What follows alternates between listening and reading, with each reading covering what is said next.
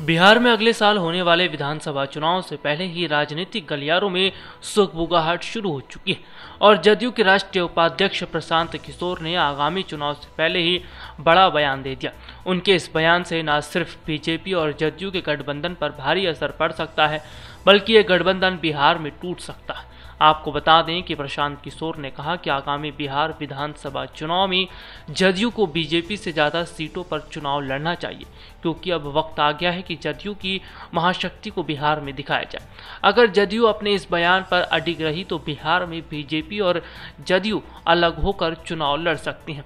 और बीजेपी की सहयोगी पार्टियों का बीजेपी को लेकर कुछ यही हाल देखने को मिल रहा है। महाराष्ट्र में बीजेपी की सहयोगी पार्टी शिवसेना ने बीजेपी का साथ छोड़ दिया। बिहार में ही बीजेपी की सहयोगी पार्टी, लोक जनशक्ति पार्टी भी बीजेपी के खिलाफ नज़र आ रही है। वहीं झारखंड में भी बीजेपी को निराशाजनक प्रदर्शन देखने को मिला। बीजेपी की सहयोगी पार्टियों ने अगर बीजेपी का साथ छोड़ना शुरू कर दिया तो बीजेपी को भारी मुश्किलों का सामना करना पड़ सकता है। वेब ट्वेंटी न्यूज़ के लिए राहुल की रिपोर्ट।